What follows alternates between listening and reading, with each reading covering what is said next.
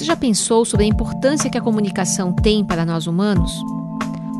Ao comunicar, expressamos nossas ideias, opiniões, emoções, compartilhamos dúvidas, incertezas e também soluções em nossa própria história.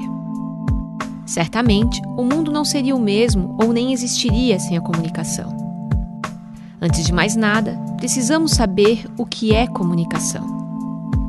A comunicação é uma das capacidades humanas mais fundamentais. Desde a antiguidade, o homem busca meios para se comunicar. Apesar disso, ainda hoje, a maioria das pessoas não sabe comunicar-se. Muitas pessoas, por medo, dificuldade, timidez, deixam de se comunicar e outras, por postura autoritária, apenas informam. E informar é diferente de comunicar. Informar é um ato unilateral e envolve a pessoa que tem uma informação a dar. Já comunicar implica tornar algo comum, fazer-se entender e provocar reações no receptor. Por isso, comunicar pressupõe a interação e o saber ouvir.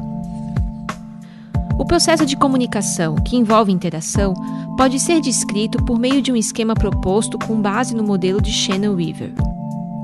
Os elementos que compõem esse esquema são o emissor, que é o sujeito que produz e tem a intenção de transmitir uma mensagem. A mensagem, que é o que o emissor tem a intenção de transmitir. O receptor, que é qualquer sujeito capaz de receber e interpretar essa mensagem. Além disso, temos alguns processos relacionados a esses elementos. São eles: a codificação, que envolve a tradução da mensagem em um código conhecido. A decodificação, que envolve a interpretação do código utilizado na mensagem. O meio ou canal é por onde circula a mensagem. O ruído refere-se a possíveis interferências que podem diferenciar a mensagem enviada da mensagem recebida.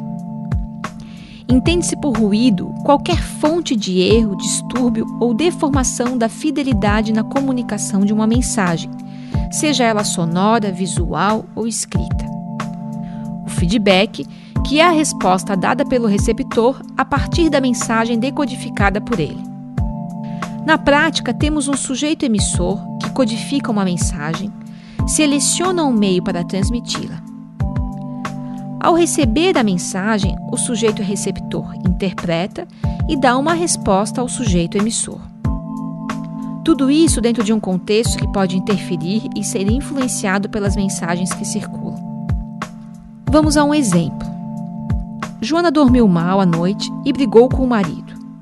Chegando no trabalho, leu o seguinte e-mail que recebeu de seu supervisor: Joana, você não cansa de nos surpreender vamos dar mais atenção à ideia sugerida em seu relatório. Ao considerar seu contexto social, emocional e físico, ela decodifica a mensagem da seguinte forma: Eles nunca estão contentes com nada que eu faço. Sempre é preciso melhorar, melhorar e melhorar. E dizem que tenho que dar mais atenção ao que sugiro.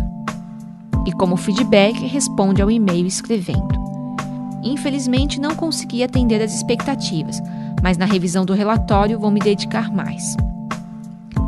A partir do feedback que o supervisor recebe, fica claro que ruídos presentes no contexto interferiram na mensagem transmitida.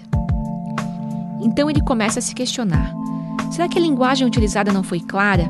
Será que o meio não foi adequado ou eu deveria ter parabenizado seu trabalho pessoalmente? Será que Joana está com algum problema?